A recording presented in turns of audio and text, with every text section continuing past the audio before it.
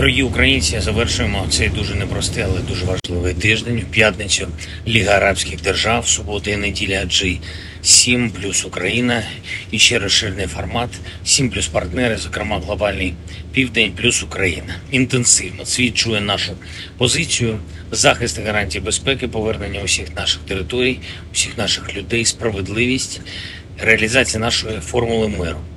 Кожному суттєвому для України пункту маємо розуміння зі світової більшості і разом будемо збільшувати український потенціал. Цієї суботи День науки в Україні.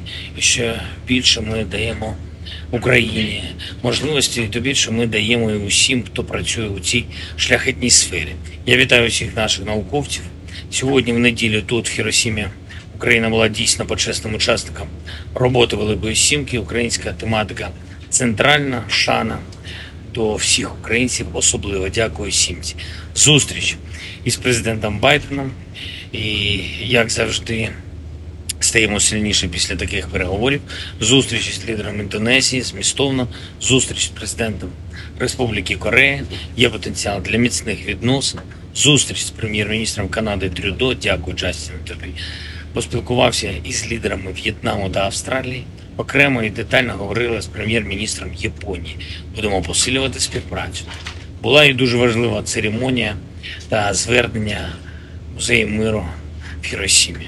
Наша єдність зі світом, наш захист для українців та наша сила, сила української держави буде і найбільш достойним вшануванням пам'яті наших людей різних поколінь, чиє життя було зламане та розтоптане російським злом.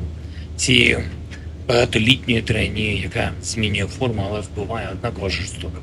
Сьогодні день пам'яті жертв політичних репресій, день пам'яті усіх, хто був вбитий за роки радянського режиму. Не забувайте, що було, не забуваємо, кого втратили, не забуваємо, що ми зобов'язані бути сильними. Будемо завжди.